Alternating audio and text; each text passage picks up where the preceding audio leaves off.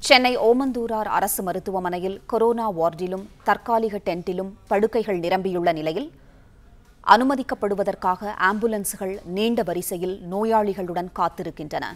கூடுதல் தகவல்களை தருகிறார் நமது செய்தியாளர் சரவணன். சரவணன் வணக்கம். நீண்ட வரிசையில் ஆம்புலன்ஸில் காத்திருக்கும் கொரோனா நோயாளிகள்.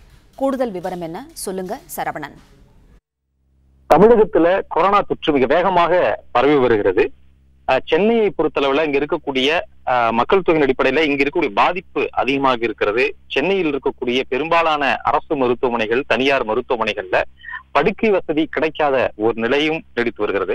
சென்னை ஓமந்தூரார் அஹ், அரசு தோட்ட வளாகத்தில் இருக்கக்கூடிய அரசு மருத்துவமனையில ஐநூறு படுக்கைகள் கொண்ட வசதி இருக்கிறது. இந்த ஐநூறு படுக்கைகளும் கொரோனா நோயாளிகளால் வந்து அனுமதிக்கப்பட்டு தொடர்ந்து சிகிச்சை அளிக்கப்பட்டு வருவதனால அங்கு புதிதாக வரக்கூடிய நோயாளிகளை வந்து அனுமதிக்க முடியாத ஒரு நிலை. இதனால் எந்த மருத்துவமனையில் வந்து படுக்கைகள் இருக்கிறது படுக்கை வசதிகள் இருக்கிறது என்பதை தெரிந்து கொள்வதற்காக நோயாளிகள் வந்து நோயாளிகளுடன் வரக்கூடிய அது கார் மூலமாக அழைத்து வருகிறார்கள்.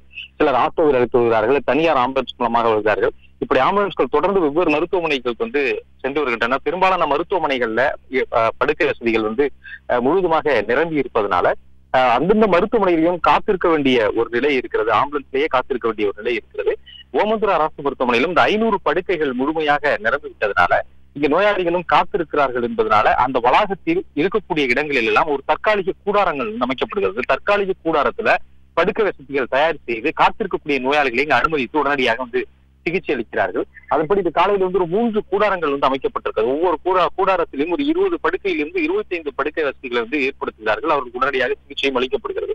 ஆனால் தற்பொழுது இந்த மூன்று கூடாரங்களும் நிரம்பி விட்டதுனால புதிதாக வரக்கூடிய நோயாளிகளை வந்து அனுமதிக்க முடியாத நிலை இருக்கிறது.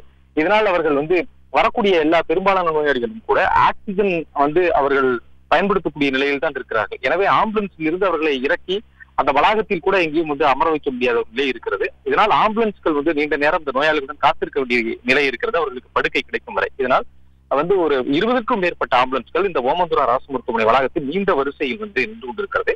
இதனால் தற்காலிக கூடாரங்கள் மேலும் வந்து அமைப்பதற்காக இது இதற்கான பொருட்களை எல்லாம் கொண்டு வந்து அதற்கான பணிகள் வந்து தீவிரமாக நடைபெற்று வருகிறது. நன்றி சரவணன் உங்கள் தகவல்களுக்கு நன்றி.